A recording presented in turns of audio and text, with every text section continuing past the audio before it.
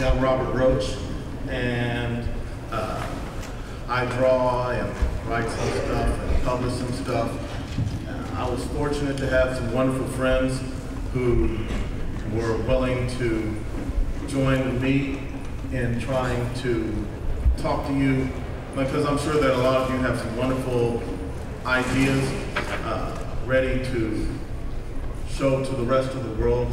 And some of us up here have done that, some with more success than others, uh, coming at it from teleplays, from uh, televised animation. Folks up here have been on Cartoon Network and such. Uh, novelists who are published, not I'm writing something. Uh, and I hope that this is informative for you. I know that it's going to be fun for us. And we really do, after, introdu after introducing who we are and what we do, um, it's going to be free-flowing. Give us your input.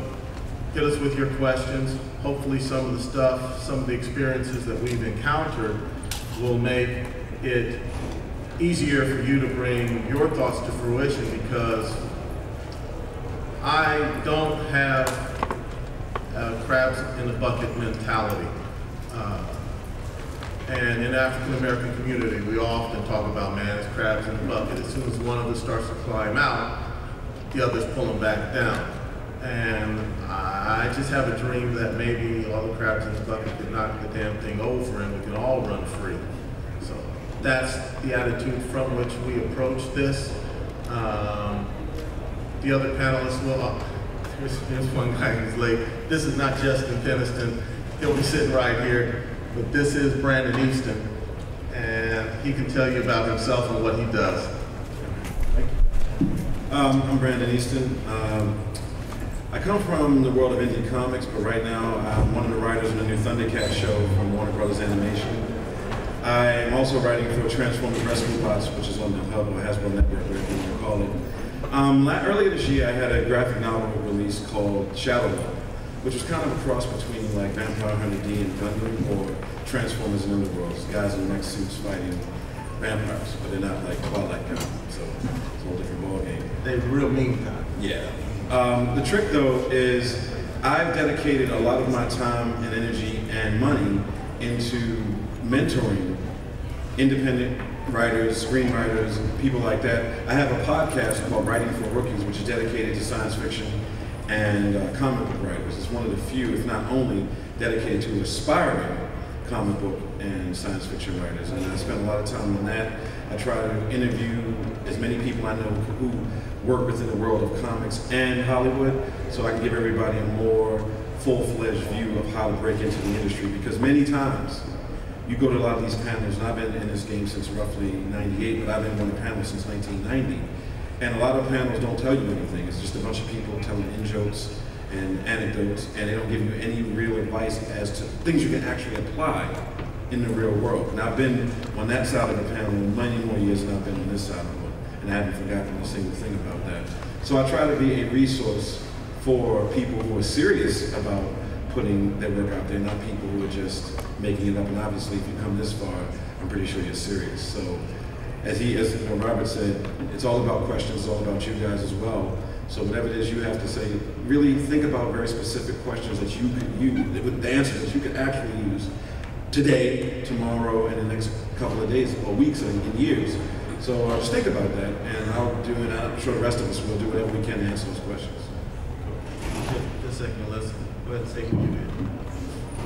Hi, uh, my name is Justin Peniston. Um, I'm an independent comic writer. Uh, I have written a couple of times for DC Comics. Uh, I read a couple of web comics, uh, Hunter Black and Planet Pantheon.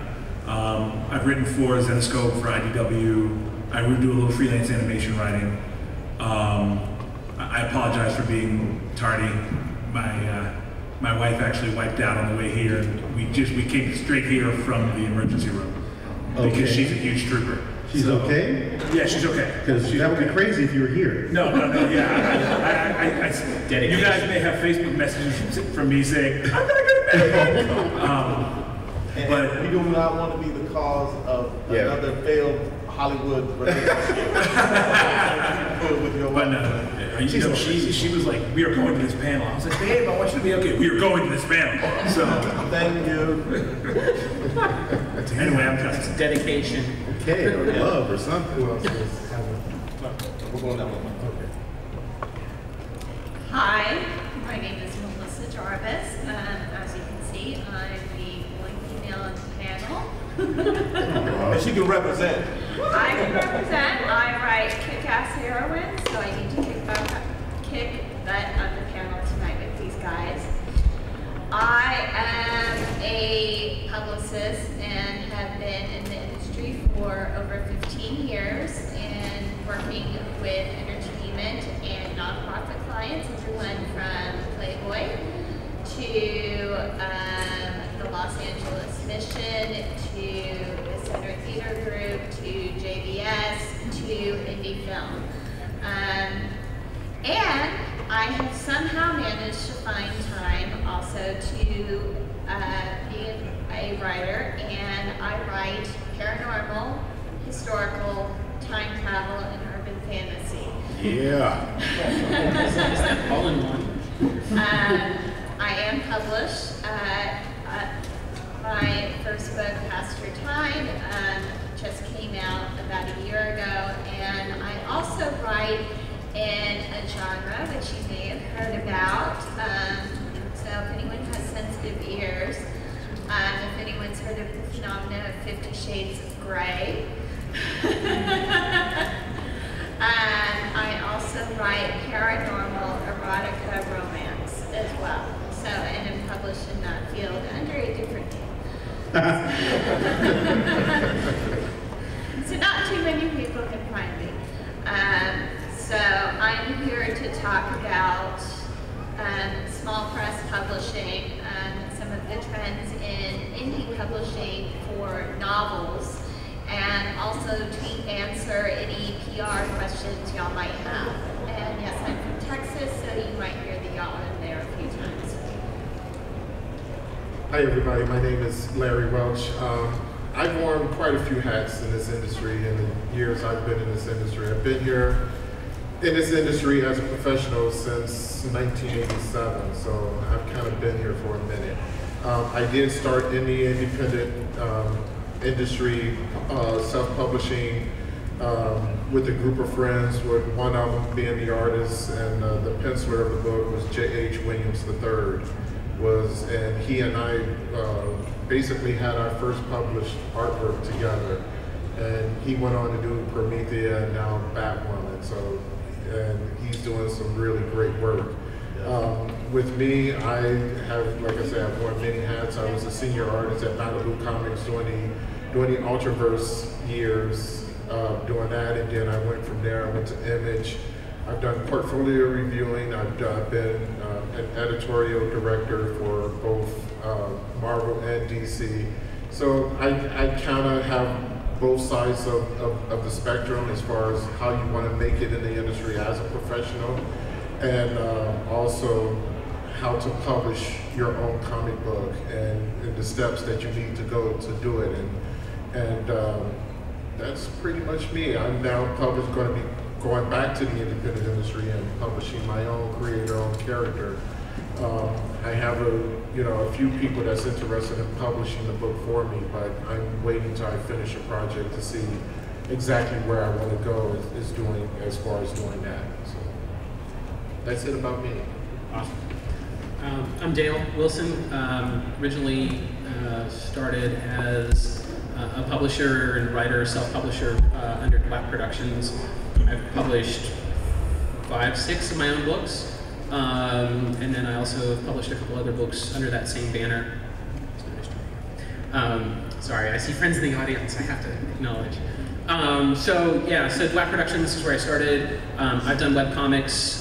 Uh, at my day job is online marketing, so uh, I really come at comics kind of more as um, kind of wanting to, to see how I can get it out to the world and get it seen. Um, so that's kind of a big piece for me. Um, and my newest fun thing is buyindiecomics.com, and it's my way of uh, putting together friends, family, uh, etc., uh, people that, that I've met over the years in comics and uh, getting articles out about them, talking about them, talking about the indie comic books in, comic book industry, and um, yeah, trying to just really talk about indie comics as opposed to you know seeing a lot about the big two all the time. So, did I say? Yeah, I love you. That's it? Yeah, that's it. Um, I'm Jeff Thorne. I am uh, indie comics creator uh, with my partner Todd Harris, who may or may not be here. Uh, we are together, uh, Genre 19. Uh, we did a book uh, last year and the year before with Ape Entertainment called Prodigal, Egg of First Light. Uh, we have something coming up uh, from Dark Horse that I'm not apparently allowed to talk about until they announce it. So whatever. Um, I write for the TV series Leverage. I have written a bunch of episodes of Ben 10 in various incarnations. Um, and I broke in because of Robert Roach putting me together with my work wife, who is my partner, Todd. Um, I know how to write comics um, and somehow how to navigate. He also had a successful career as an actor, but Nobody cares about that. That's not relevant. That's not relevant. That's not relevant. That's not relevant. So not relevant. That's not fun. Um, so Actually, um, hilarious. I used to moderate these panels. Um, these guys undersell themselves a lot, and uh, well, Brandon hasn't been here before, but uh, um, and uh, th- there's a wealth of knowledge up here about um, just the, the nuts and bolts of just doing it yourself and not asking people for permission. Uh, this, I believe this crew is probably the Avengers of doing that. So uh, ask those wacky questions, the things that might embarrass you. I, I think we're more like the defenders. The defendants? The But defenders. They fought all the time. They Yeah, that's kind of the other. thing. Yeah, we are more collegial than they Yeah, were. that- that's, that's, they're But they did have a great time at the deli. whatever. Shawarma. Anyway, Wanting shawarma ever since. so that's, I'm, I, you know, I gotta say, I'm much more concerned about Justin and his wife. Are you guys okay? Yes. Yes. Are you okay? I, I'm pretty sure she's okay. She's back there with the split. Oh my she, goodness. Um, dear God. Yes, I saw hold Yeah, a round of applause. she, she's a real trooper. She, uh, this is her first Comic Con too. Wow. And um, I'm fairly certain she doesn't ever want to come back here. But um, she, uh, the doctors say there's nothing broken, or at least we're not sure that nothing seems to be broken. Uh, just a bad sprain. Um, and we, we got out just in time to hop a cab and show up here, and she was insistent that we come. She's incredibly supportive, which is probably one of the number one things that any creator, whether independent or otherwise, needs is someone in their corner. Um, and I'm lucky to have one. So, thank you. Open the floor to, to questions. Order. Yes. Microphone. yes, we have a mic, we have a who wants to mic in the middle of the uh, aisle here. Um, Step up, step up. and shyness is not permitted. I don't play that. If you ask a question, Now, I still have them. I'll give you respect, res- re- respect is, is a given. Uh, but be, be yourself, have fun. We're gonna be ourselves, man, so y'all might as well be yourself too, okay? Okay, so this thing? You can tilt that up. Yeah, you can tilt it up and talk. Okay, so it's good at great, so you need it. How do you guys make money on comics that you sell on, not paper? So are any of you guys doing anything with, uh, like Kickstarters for new comics or something like, um, like Apple newsstand apps? Is there anything going on in that space? Uh, yeah. Uh, Dale Yes. Just- Dale and Justin. are So yeah, I mean, Justin can talk about some webcomic stuff. I can talk about some webcomic stuff. I, mean, I guess I'll start then. Cool. Um, so yeah, like I said, I do online marketing as my day job, right? So I'm out there kind of trying to get other people's websites seen, um, and and so I have a little bit of a leg up, and that's been beneficial to me in terms of like how do I build the site, how do I make it kind of search engine friendly, kind of is what they you know refer how they refer to it. But there's also a ton of sites out there that where you can um, essentially kind of work into somebody else's network, right? So they're a network of, of indie comics, and you can kind of get your scene. Now, in terms of the making money aspect, um, I, you know, that's a tough one. I've been doing it for a couple of years, and, and I can't answer that question really. There's there's the AdSense idea, right? So if you can get a ton of people coming to your site, Google AdSense will hopefully, you know, people click on the banners, the ad banners that show up. I've been doing it for a few years now. I think I've made a hundred bucks doing that. Um, so I, I don't necessarily recommend that as a way to pay the bills. Um, it might pay your hosting if you're really, really lucky, right? Um, yeah, so part of it is, is just making sure you get seen, making sure that your, your, your site gets out there. Um, that's actually a good portion of why I'm doing buyindiecomics.com is I feel like there aren't enough avenues for indie comics to get seen, right? So how do we how do we as indies get how do we compete with the big two, right? How do we compete with the big two, let alone everybody else out there that's maybe mid majors, et cetera? And so that's part of why I'm doing this, um, is to hopefully get you guys seen, and, and as creators and as well as kind of websites as well. So in terms of making money though, I, I, I see anything you do on the web as advertising for yourself.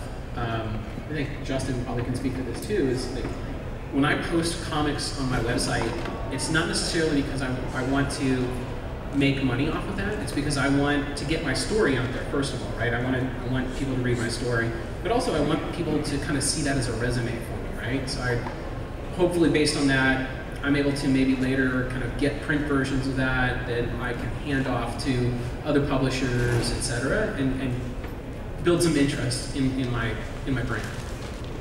Does that answer your question? No. All right, Justin, I think. Um, you don't go into webcomics looking to make an immediate profit, that's for sure. Um, I launched, uh, my, my collaborator and I launched our first webcomic, Hunter Black, almost exactly a year ago. Um, and we went into it, our only expectation in the first year was to be consistent about making our deadlines. Um, I think we are probably right now maybe $2,000 in the red on our, on our webcomic. Um, because, you know, we paid to have the site designed. Um, we actually pay someone to do our logo design and uh, lettering. Um, and we printed up a whole bunch of posters. Now we've gone to a couple of conventions. We went to WonderCon and we went to uh, to, to uh, Chicago, C2E2, and we managed to sell. We made back about hundred dollars so far, um, but we don't quite have enough material up yet to print a book, um, which is where, at least in our minds, not only is there actually going to be a market, but there's an air of legitimacy at that point. Um, but we knew this going in. We knew that we were not going to make comics to make money immediately. Um, and certainly, you don't make independent comics, whether in print or on the web, because you're looking to get rich. You do it because you can't not do it. Write that down. Um, you do it because, as I tell people, whenever someone asks me about comics, um, I would rather fail at comics than succeed as a restaurant manager. Do you know what I mean? Um, and once I made that decision that I was willing to do this until I, you know, th there were no other options, that made it easy to pursue. Um, and just like Dale said, this is very much for me a resume. Um, I mean, I was lucky to have a little success prior to, to starting the webcomics, but certainly I find myself as a creator, as a freelance creator, being taken much more seriously now. Um, I wasn't writing animation before I started doing webcomics, I am now. You know, so. Um, but I think I, I like to think that they will eventually make some money. You know, I hope. I mean, I, I don't not want to make money. I just don't know that they. I don't know when that's going to happen. You know. Can I? Can I answer this from a sort of a short story novel point of view? Sure.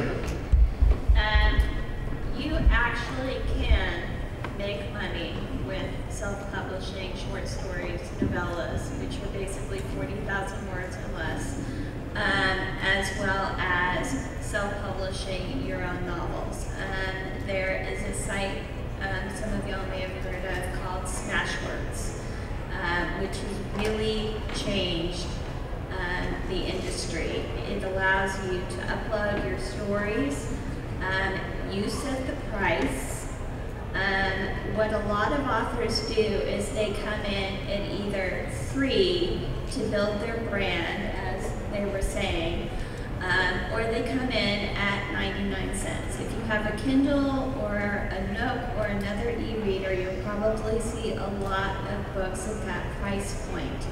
And there are quite a few success stories of independent authors who have been with traditional publishing companies who have decided to either publish what's known as their backlist, um, books that have been out of print for a few years, the rights have reverted back to the authors, or um, they've published their own story, um, uploaded it through Smashwords, it becomes available on Barnes & Noble, Amazon, the other bookseller sites, and they've been making six figures, and they're not having the um, having to pay agents, they're not having to pay publishers.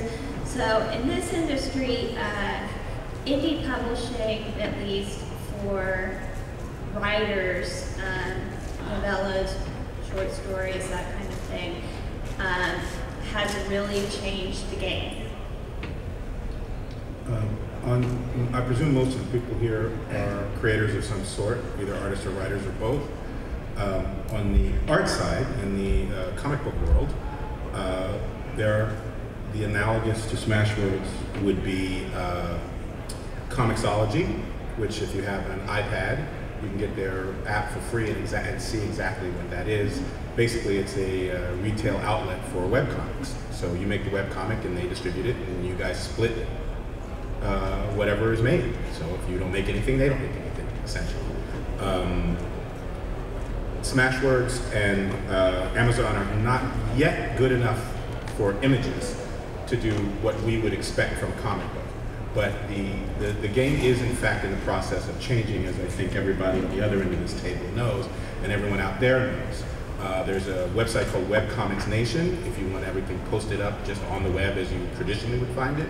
There are new forms being created right now. Um, and uh, both Marvel and all, almost every uh, every one of the other bigger companies experimenting with a new version of webcomic, uh, which they use various uh, PDF forms and some new proprietary software to try to duplicate or enhance the experience of reading a comic and make it happen on your tablet or your pad. So the truth is, you're not going to make a dime going in right away, but this is a marathon. It's not a sprint. You know, you're not going to be. It's possible you'll get Hellboy money, but it's most likely you won't get Hellboy money until Mike, the time Mike Mignola got Hellboy money, which was about 20 years into Hellboy.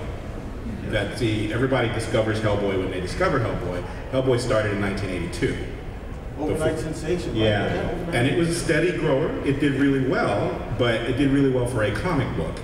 And then all of a sudden, the world discovered, hey, comic books are cool, and now it's a big motion picture and you know animation and all of that. If you're going in with that in your head right away, it's going to trip you up because what you really should just do is make a really great story.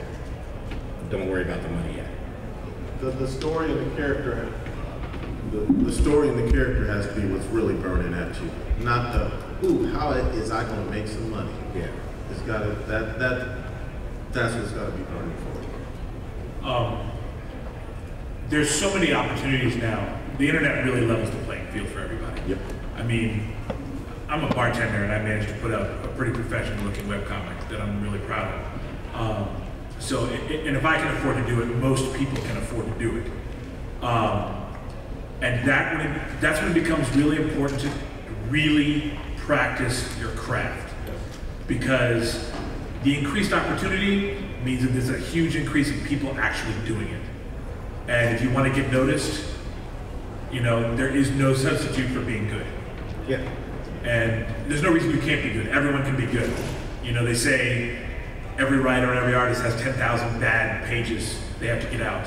So the more you write, the faster you get good. You? Right here, please. Yeah, I mean, you guys kind of answered a lot of what I had to ask, but basically, I- I'm a new creator, I have a new website, I'm about to develop.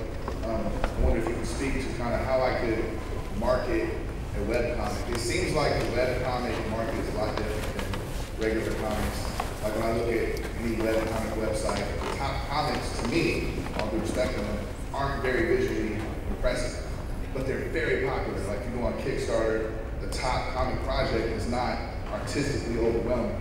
And I'm just curious if like... They're not artistically in terms of visually overwhelming, but, yeah, but they're well written. I mean, that's so Todd, who I don't think he's here. Is Todd here? No, it's Harris? All right, so He'll show up. he's, I'm gonna be angry at Todd because he's not here. But Todd has a what I, I what I consider a famous quote, right? Artists get readers, they bring readers in. Writers keep readers right? I mean, that's that's what's important. So, yeah, they may not be the, the, the, the most well articulated, uh, super dynamic, visually looking comic, but they're not going to be successful unless they're well written. Also- so just that, that just don't don't let that get lost. both Ms. Jarvis and Mr. East uh, are writers of things that I presume they both really like, right? Like Brandon's, Brandon told me this idea for his comic book uh, some years ago for Shadow Law, and I was like, what the hell? You know, because when he told it to me in one sentence, I was like, that that sounds insane, man. But his execution of that comic was wicked cool. And I presume the same with these stories. You like this material, so you write this material. Yes? So the answer to the question is although those particular stories and comics are doing well, and you're like, why the hell is anyone liking this? because you're not the audience. Yeah. That's what you have to assume. If I'm not getting it, I'm not the audience. But your audience will find you if you raise up to that level of excellence where they must look at you. piggybacking off that, how do you target your audience and, and how much of it is just build it and let it come as opposed to going out and finding it? And what are some of the avenues and platforms that you can use to reach people? Yeah. Well, I was gonna say, um, one thing you have to do is be cognizant of who you like. Who do you like and who is influencing you? And then beyond that, um, who are you going to compete with? Um, when I can talk about uh, some, I can talk about my character, the Roach. Um, it's not about me, not about me. Um, it's, It's all about you, Robert. He denies it. He denies it at every panel. It's all about Robert. Nobody who knows him and nobody who's read the book actually believes him. yeah, okay. I am a white man in Prohibition, Chicago. Uh, Maybe. But, um, you know, uh, there were some people, I'm just going to talk about the reviews, and it, I think it will piggyback into what you're, some of the questions you've had. Uh, there were some people who took a cursory look at it and saying, ah, this is just a ripoff of The Shadow. Ah, this is a guy trying to do another noir. Ah, here's another detective thing. Ah, whatever. But then I got people like uh, Tony Isabella, like uh, CBG, um, like uh, East Coast Black Age of Comics Convention and the Glyph uh, Committee to actually look at it. And at the time it came out, Tony Isabella said it's the smartest adventure comic on the on the scene. Um, Glyph gave a story in black and white about a white guy in a period piece who's an anti-hero. The first indie uh, Rising Star Award for Glyph for, for, for an indie publisher. And the main people responding to it were the African American community. So the people who took a cursory view of it missed it.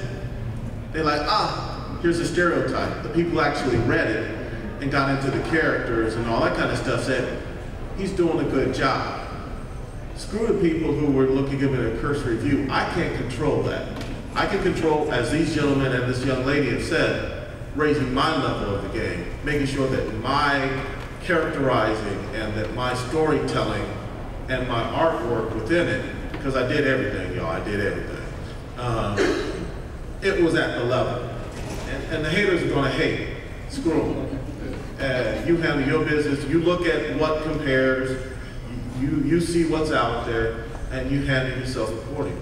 Melissa, um, can I ask, as a publicist, to put on a publicist hat, um, how would a person like this gentleman here, like, test the waters and sort of see? What would you What would you What would you advise? Um, there are a couple of different ways to go about it. It depends really where you want to hit, where you want to find your target audience. Um, one of the things that indie publishing and small press publishing has done has really narrowed down and focused on those niche markets. There are publishers who strictly publish, like for instance erotica romance. There are publishers who strictly publish sci-fi. Um, so they're already finding their niche audience that way. Um, the other thing, you know, of course, is that we've all heard about is social media. Blogs, Twitter, Facebook, um, all of those can be used and combined to get the word out about what you're doing. And what you have to look at though is you have to look at outside the box. If you are writing a comic, for instance, that has a hero who has a dog, okay? Um, not only would you focus on, um, you know, like indie comic blogs and things, but you would also focus on anybody who does a blog about pets, anybody who writes about pets, any, you know, pet fancy, um, with, you know, you can approach them to do a story. So if there is anything interesting about you personally that's different, you can also take that angle and turn it into a feature story. For instance, if the reason you're writing about dogs is because you have one or a dog rescued you from a fire, that's a personal interest story. Yeah. That makes it, listen, That is a personal interest story that makes it interesting, and you get the word out about your comic. Or the other thing to do um, that's very popular that the media likes is trends. If you can hook onto a trend and then say, hey, the latest trend going on are comics about dogs or comics that cross genres. And I'm writing this type of comic, and a couple of other of my friends are writing this. And hey, you should kind of look at this as a new trend that's going on. So there are different ways to think outside the box with publicity using social media, you know, and if you have like, for instance, a Facebook page and you know, there's a dog fancier Facebook page, make sure you're on it. Oh, yeah. Use I've every worked with publicists actually in, in entertainment in general, but I'm not sure how much different that is in, in publishing. Zero. in That Zero. Zero difference. So is it about like, for instance, in my line of work, I work with a lot of entertainers and such. A publicist does a great deal of justice for you, and, and paying that service can put you in a lot of positions that you couldn't get in. So saying all that to say, is it worth it for any creator to make that investment early, or should they, you know, is it really necessary to do the groundwork and Exactly. build a, Isn't that depends to give them something to work But with? that depends on the quality of your product, ultimately. I mean, you can have the best band, you can have the worst band in the country with the best publicist. You'll get into a couple of venues because you have the best publicist with the best connections or the best agent or whatever. But if you suck, you're not going to get asked back. So then, then all that money you spend and all that work.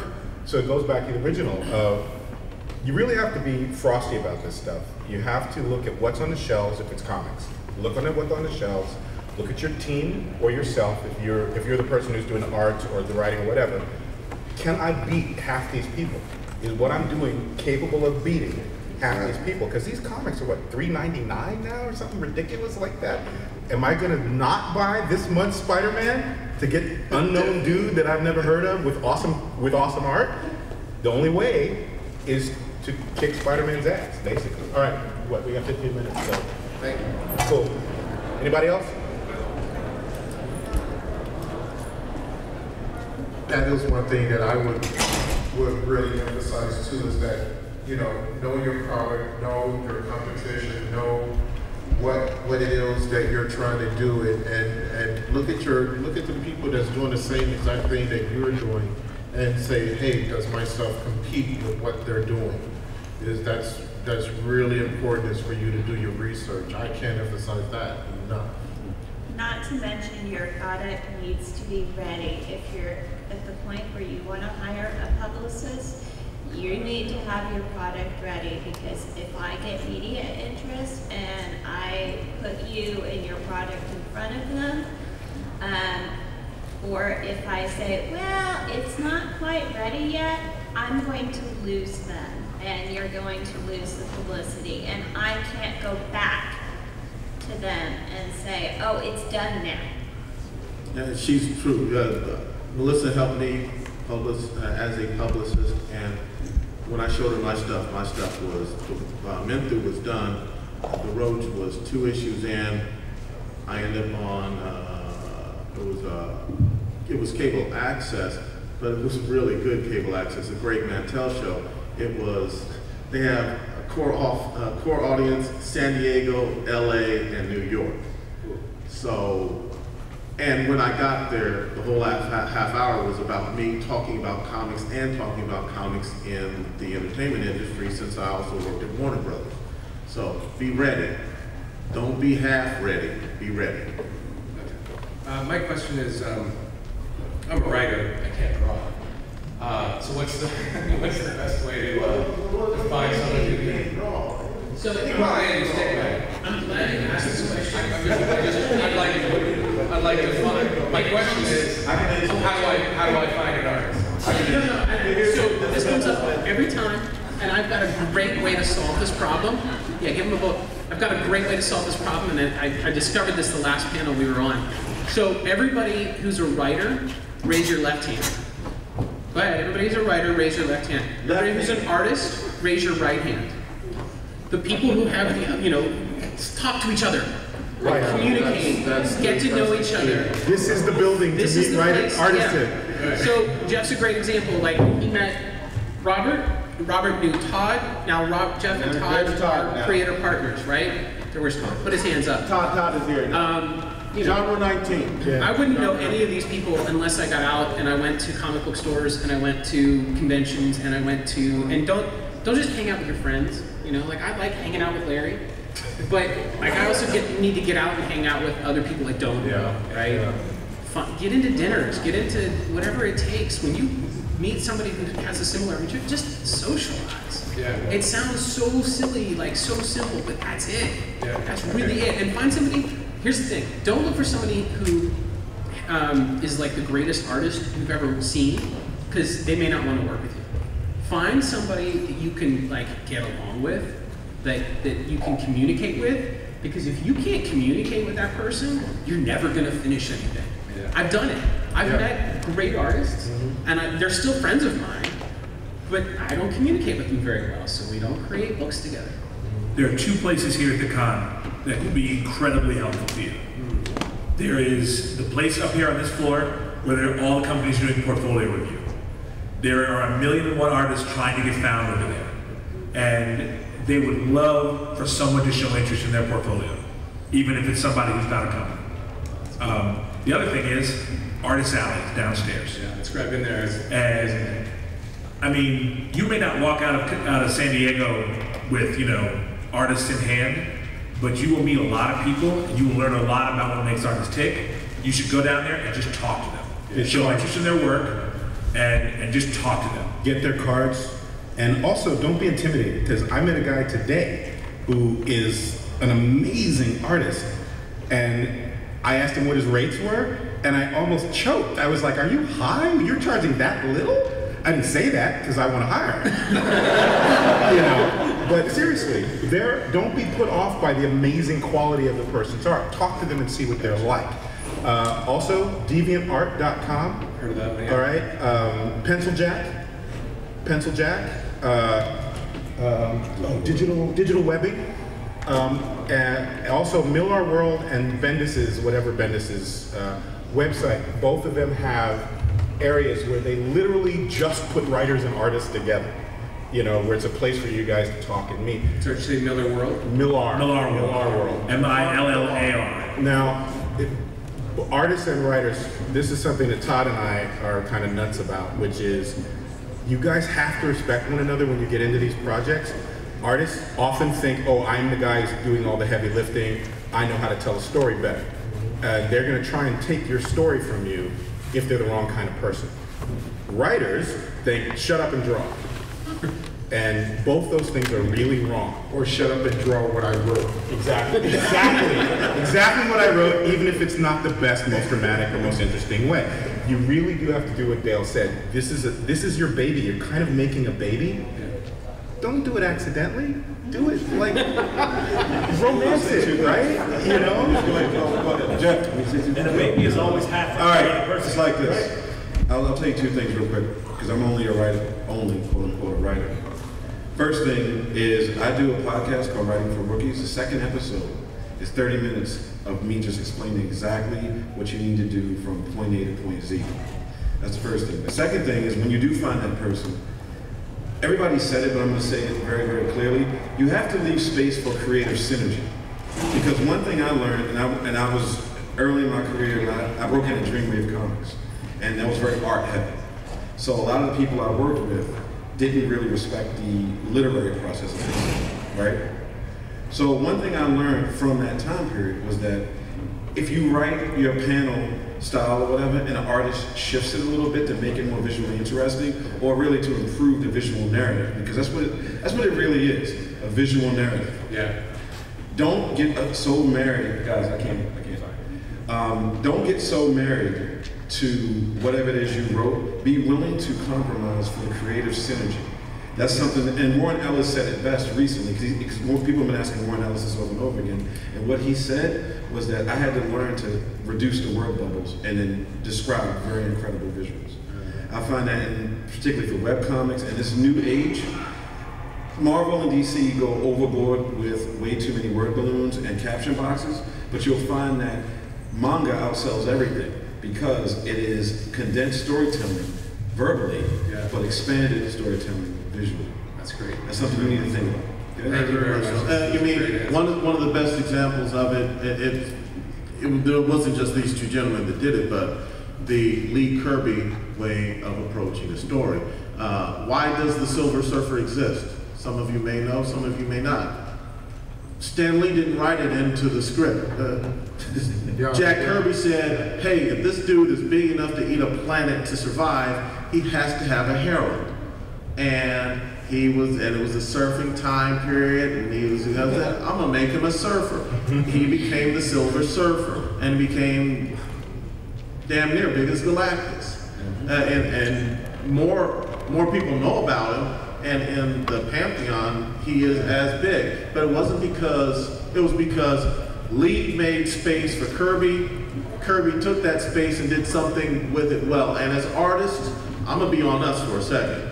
As an artist, draw something well. Don't, this is not self-pleasuring. Yeah. Look at what I can draw. That's not it. It's about the story. What does the story need? That writer, if you have a question about something that's pivotal in a story that that writer wrote, ask him or her. Do you have a reason why this? This is why I'm looking at this. What do you think? You know, they will give you some feedback which will help your visuals. Ask somebody. What Dale said, communicate. Ask somebody. Great. Those are great answers, guys. Thank you. It's worth asking an artist, what do you want to draw? Yeah. It, it- that's, a, that's a really valuable question.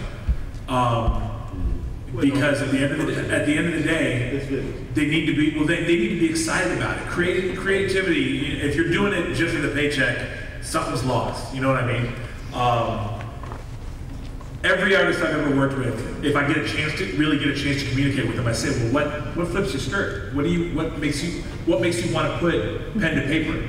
You know? And I'm not saying that I'm going to do, you know, I'm going to do exactly what they say, but I want to bring out the things that are going to get them excited. Right. You know, One, one um, thing, I one mean, thing you can do is, I'm sorry, I didn't mean to interrupt. I only have more sense. Yeah. My my scripts, when I write a comic script, that comic script was written for that artist. It's written for them to enjoy.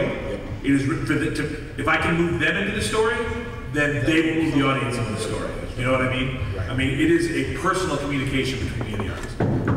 That's awesome. If, if you can't have it, this is really stupid, but if you can't have a conversation with your artist, and like a literal words conversation with your artist, you're never ever going to make a great book. Right. That's, So, I'm sorry, Larry, go ahead. What were you gonna say? no. No, no, no. what I was going to say is that you have your story that you're writing. You have, say, X amount of issues that you've already written out. You find an artist that is that you you talk to them. You you've got an understanding of what they want. You take your story and you're not completely changing it, but you're doing things a little bit differently with your script that is going to entice that penciler to really give you his best work. You're not changing your story, you're just kind of rewriting it a little bit that to, to make to give it an emphasis of what that artist or what that penciler is going to be doing for your story. So.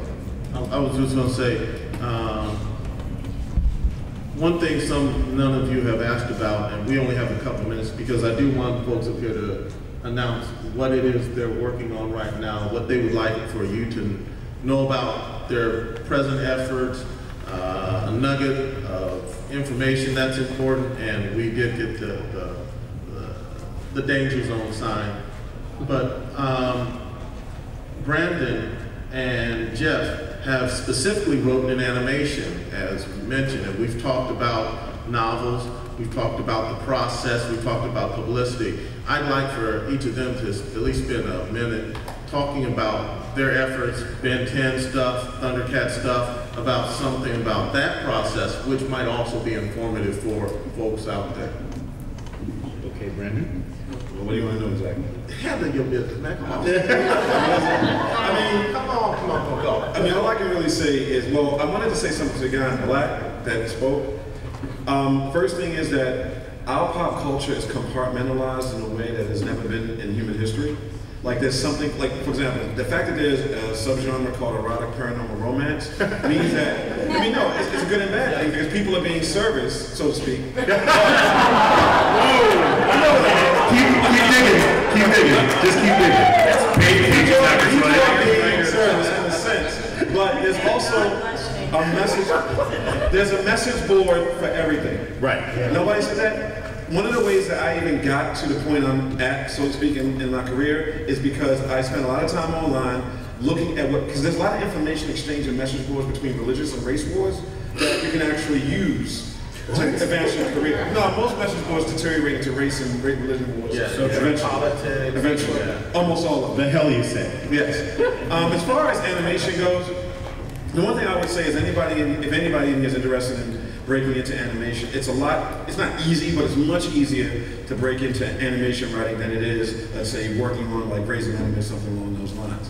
What I would say is that you really need to understand, and I, I mentioned this before, is the synergy. Because when I got onto Thundercats, it was my first Hollywood credit ever.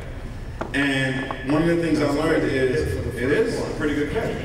And one of the things I learned was that what you write, you cannot, it's not in stone. And because somebody changes it, or you have somebody come along and say, hey, this isn't quite right, it doesn't mean you're bad. It means that for the, what that show is, remember, animated series, particularly boys adventure animation, is written to sell toys. You can't have an episode where somebody's just like looking at a skull and just talking about erasure. so you have to think about the fact that you are beholden to commercial interests when you start working with larger corporations. And that's something I think that a lot of indie folks, they just, oh, I'm not doing, I'm, you know, I'm like, well, yeah, you could be that way, but, you know, ultimately you're not going to get a job because the system is very corporate and very commercial.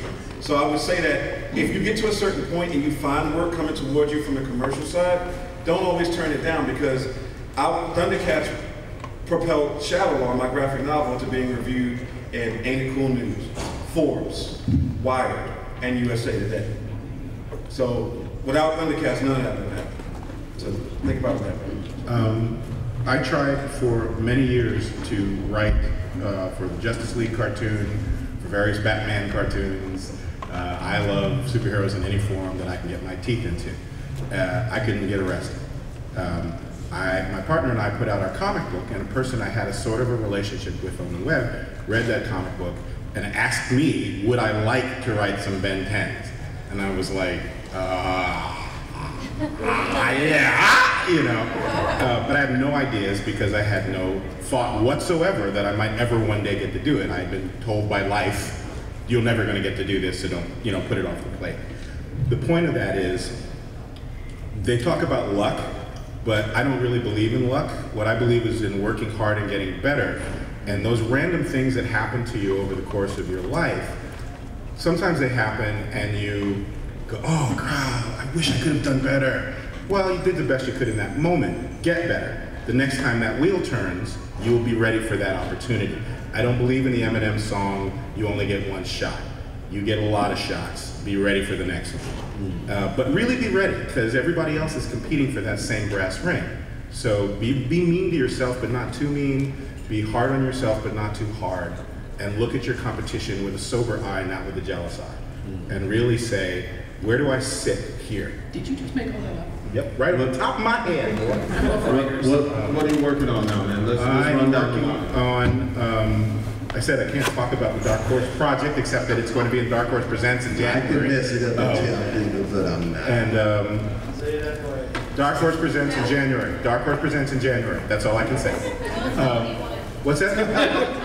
yes, is. But I would like to say this, and it's it's sucky because it's it's something my partner and I put out last year because in in the theme of this uh, conversation, we had a bumpy ride getting our first book out. Our first book took five tries to get something on the market, including something with Robert that just didn't come together for a lot of different reasons, and that's another thing. It it really is a marathon. So we decided it might be an interesting idea to put that into book form. And okay, gotta go. It's called Ash Cans. It's on Amazon. It's cheap. It'll help. If you're interested in the website, got postcards for buying any comics that you want. And if you, um, just take my name and I'll